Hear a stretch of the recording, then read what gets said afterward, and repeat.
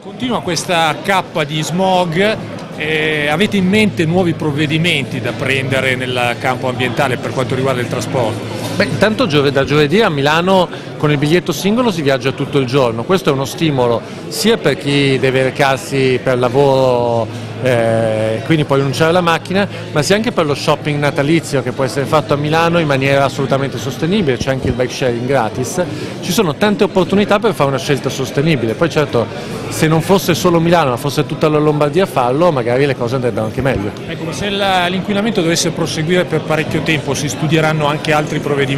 Allora, tutti gli esperti ci dicono che però il problema è fare delle cose su area vasta, visto che non è Milano ma è tutta la pianura padana ad avere PM10 alto. Quindi io auspico che a breve si aggiungano misure a livello lombardo, anche di nord Italia, perché pure Piemonte e Veneto ne hanno bisogno, e che non siano solamente a Milano o a Torino come se fosse un problema solo delle città.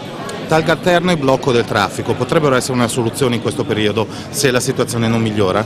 Allora, noi ci siamo orientati più su nuove opportunità che su divieti. Sui divieti abbiamo il blocco dell'Euro 3 diesel in alcune fasce orarie. Eh, il tema non è aumentare i blocchi a Milano, è aumentare le opportunità su un territorio più vasto. Mi auspico che dai treni al resto dei bus non ATM vi siano a breve offerte analoghe a quelle che ha fatto ATM.